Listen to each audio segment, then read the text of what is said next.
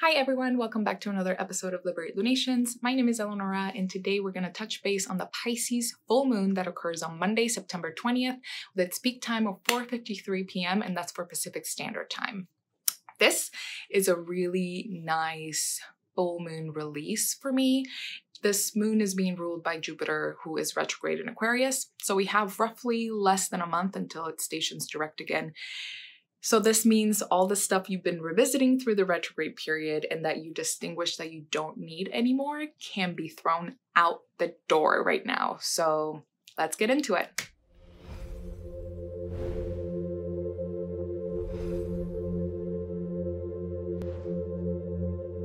Okay, first up, we're gonna have Mercury in Libra is gonna be squaring Pluto, who is in Capricorn retrograde, and also trining Jupiter, who is retrograde in Aquarius and who is the ruler of this lunation as well.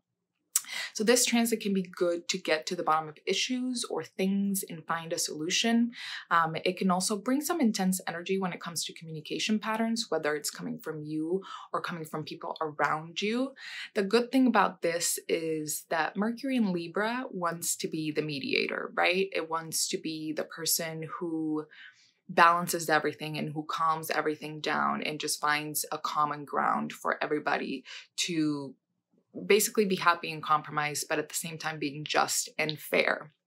So, if we balance all these planetary energies, we can actually identify mental and communication patterns that are detrimental and we can release them. Next up, we have Venus in Scorpio, who is going to be opposing Uranus, who is retrograde in Taurus. This transit can indicate a sudden change on and relationships and dynamics of relationships and dynamics of how we connect with other people um, a dynamic in our values as well. It can bring a shift of perspective of what we find valuable right now what we want to invest our time money and energy into as well and it can also bring um, exciting energies your way, exciting connections, new connections, unexpected connections, unexpected situations as well that have to do with maybe your money or have to do um, with romantic partners. I'm gonna pull a card for you guys. As usual, this is an energy that we can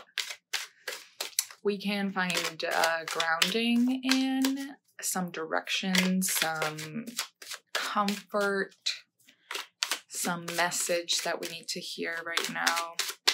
So for this upcoming Pisces full moon, three cards popped up, you guys. First one being Taurus. So rely on that steady, stable, and reliable energy. Um, Taurus is Earth fixed sign, one of the most reliable and loyal signs and energies in the zodiac, in my humble opinion. Um, yeah, and also Uranus is in Taurus right now, so maybe it is about getting comfortable with not being comfortable, if that makes sense, especially Taurus being a Venus rule sign. We like the comfort, we like to be pampered, we like to have our stuff, but right now is a time of change, and especially full moon is a time of release. So maybe the things that are destabilizing you, which is a good keyword for Uranus and Taurus, is literally destabilizing. Um, maybe those are the things that you don't need anymore. Maybe those are the things that you should be revisiting and being like, hmm, is this really good for me? Maybe not. We have last quarter moon, which is basically obviously the last quarter until we reach the new moon period again. So, still a lot of releasing, cleaning out the last things that are in there just to make room for a new lunar cycle, new intentions, which is like, that's what you do in a full moon. You literally clean house. So, whatever you're doing, keep doing it. The last one is Eris. I do not work with asteroids other than Chiron. So we're gonna see what the little booklet has to say about Eris. Great. Okay, so in a reading, when it comes out, it indicates our subconscious desires about what we are looking for in a mate.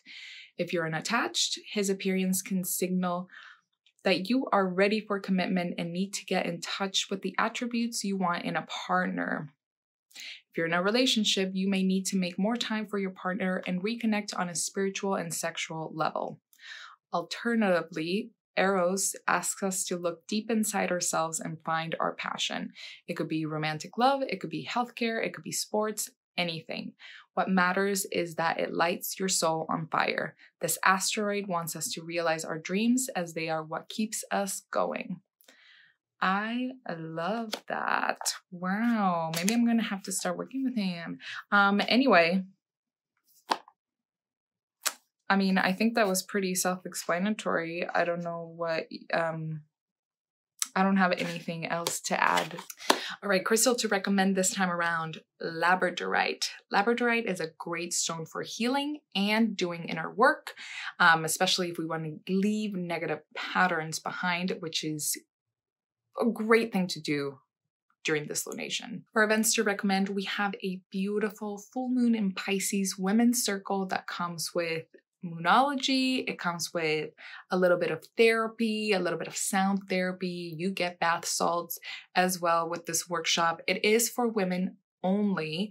Um, that is going to be on the day of the full moon, Monday, September 20th. It's going to be at 6:30 p.m. and there's limited space, so I would snag your ticket as soon as possible. If you're not a woman, or you're not interested in coming to the full moon circle or you can't make it, we do have a breath work and meditation for manifestation the day after the full moon, um, which is Tuesday, September 21st at 7 p.m. That's with Raquelle, and that's both in person at our Sherman Oaks location and live stream. So if you can't make it physically or you can't make it at that time, you can also sign up for our live stream and we'll send you the replay after the class is over. All right, you guys, that is it for this full moon in Pisces. Beautiful release. Focus on yourself, your relationships, your passions, your desires. Um, let me know how you're feeling below. Let me know where this moon is hitting your chart. If you want to get a reading, I'm available for readings finally through Liberate. So you can visit our website and check out um, yours truly and the other plethora of beautiful, amazing, and super talented practitioners that we have on our roster. But other than that, I leave you to it. I hope you're happy. I hope you're healthy. I hope you're living your best life. Love you, sending you much, much love, many, many blessings. Very happy full moon.